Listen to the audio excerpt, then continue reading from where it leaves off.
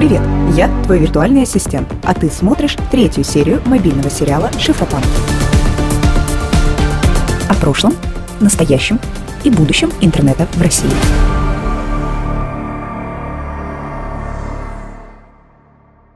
В прошлых сериях мы обсудили вероятность глобального отключения интернета и более вероятные блокировки отдельных приложений и сервисов. Если вы их еще не видели, то посмотрите и возвращайтесь. Сегодня мы поговорим про альтернативы популярным сервисам, которые построены по принципу децентрализации данных. Это позволяет им быть более защищенными от блокировок, слежки и утечки данных.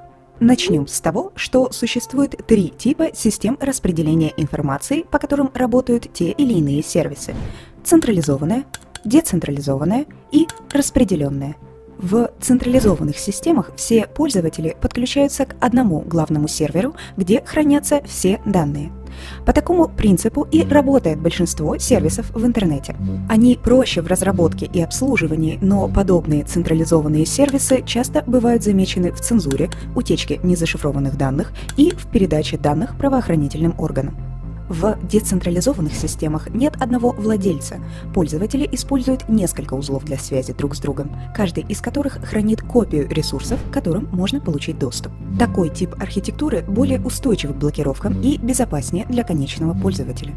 Распределенная система похожа на децентрализованную, но в ней абсолютно все пользователи имеют равный доступ к данным – хотя при необходимости могут быть включены разные права доступа. Лучшим примером распределенной системы является сам интернет. Кстати, сюда же можно отнести браузер Tor, который позволяет находиться в сети полностью анонимно. Но как раз во время монтажа этого видео появились новости, что и этот сервис в России пытаются заблокировать.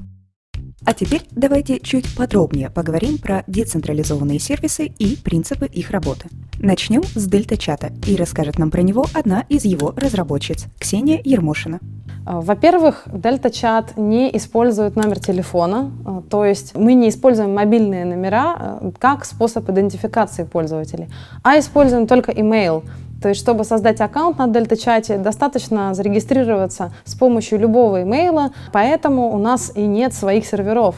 Дельта-чат использует сервера email-провайдеров, на которых пользователи э, решают создать аккаунты.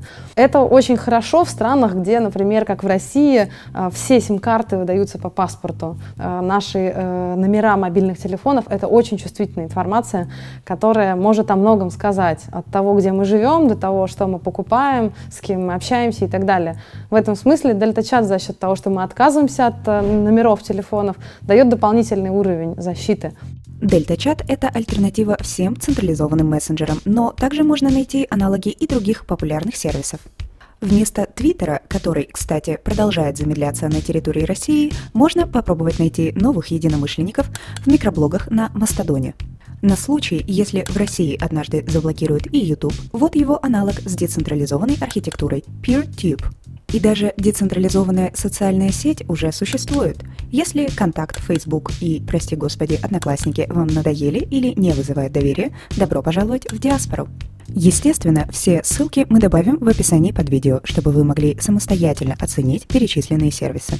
Конечно, у каждой системы есть свои преимущества и недостатки. Централизованные сервисы зачастую популярнее и функциональнее, а децентрализованные и распределенные могут понадобиться далеко не каждому пользователю. Но мы живем в такое время, когда без интернета уже сложно представить свою работу и быт, а ограничений и блокировок со стороны государств и корпораций становится все больше. Кстати, децентрализация защищает еще и от слежки. Возможно, прямо сейчас. Кто-то читает вашу переписку или смотрит на вас через веб-камеру. Ладно, ладно, я шучу. Или нет. Об этом мы и поговорим в следующей серии. Отключаюсь.